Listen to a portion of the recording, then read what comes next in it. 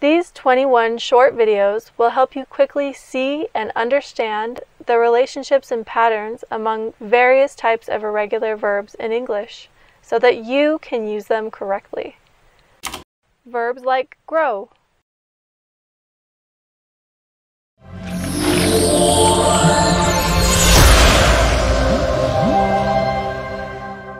This video will help you see relationships among various types of irregular verbs in English.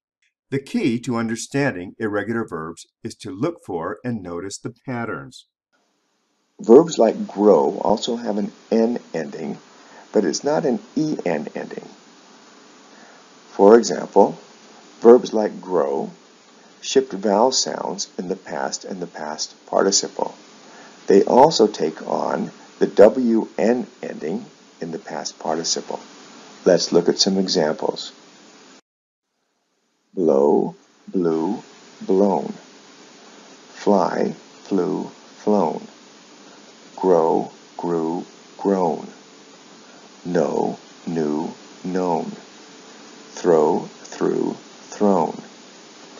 Now an interesting one, a variation on this would be the verb show instead of doing the EW ending in the past, we show follows an ED regular verb ending in the past. Show, showed, shown.